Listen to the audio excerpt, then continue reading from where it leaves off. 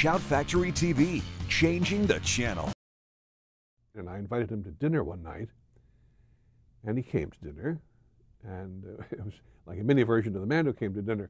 Ordinarily, when one attends dinner at somebody's house, about 11:30, you go home, you know. But uh, Jane was working uh, at the time, and she was exhausted. So about 11:30, she fell asleep, as I recall. Uh, he, uh, we, we, served wine during dinner, and he had several of those.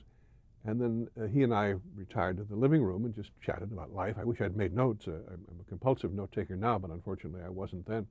Uh, this takes us up to about midnight, I guess, of the night in question. Jane was asleep. And uh, I finally began yawning, not as a hint, it's just that I, I yawn a lot.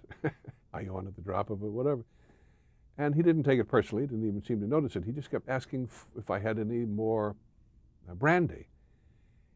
As I recall, he finished uh, a bottle and a half of brandy between then and Lord knows what time it was, three or four in the morning.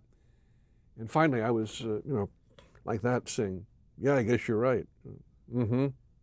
Oh wow, that was my part of the conversation. And he was rambling on in his cups. Fascinating. I just don't remember now what he said after so many years. So uh, he finally began to get his feelings hurt at about four. He wanted me to go out with him. You know, I said, "Man, I have to work tomorrow." Uh, he said, "Oh, come on, you know, we'll have some fun." I said, "I'm, I'm sure we would, but I do have to work tomorrow, and I'm forgive me for yawning for the last few hours. I can hardly keep my eyes open now."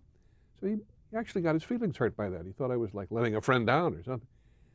And he went to the phone and called somebody. The first person I think hung up on him. Then he called somebody else, and he finally found someone who would, uh, you know, continue the carousing, I guess.